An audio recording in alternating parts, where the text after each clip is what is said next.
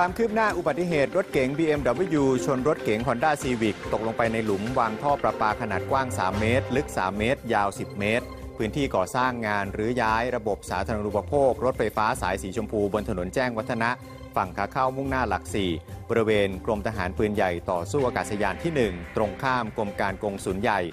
ตำรวจสนทุ่งสองห้องได้เคลื่อนย้ายรถเก๋งฮอนด้าขึ้นมาได้แล้วนะครับแล้วเร่งสืบสวนหาสาเหตุอุบัติเหตุดังกล่าว แต่เบื้องต้นคาดว่ารถ BM น่าจะขับมาด้วยความเร็ว ก่อนชนท้ายรถเก๋งซีวิกจนถลายไปชนกับแท่งแบรีเออร์เกาะกลางถนน ก่อนพลิกคว่ำตกลงไปในบ่อ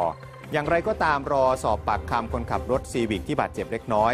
ส่วนคนขับรถ BMW ต้องตรวจสอบวัดระดับแอลกอฮอล์ขณะที่นายช่างควบคุมงานยืนยันว่าการก่อสร้างเป็นไปตามมาตรฐาน มีสัญญาณเตือนการก่อสร้าง มีเจ้าหน้าที่อำนวยความสะดวกด้านการจราจร พร้อมไฟส่องสว่างที่ชัดเจน และที่ผ่านมาไม่เคยเกิดอุบัติเหตุเช่นนี้มาก่อนครับ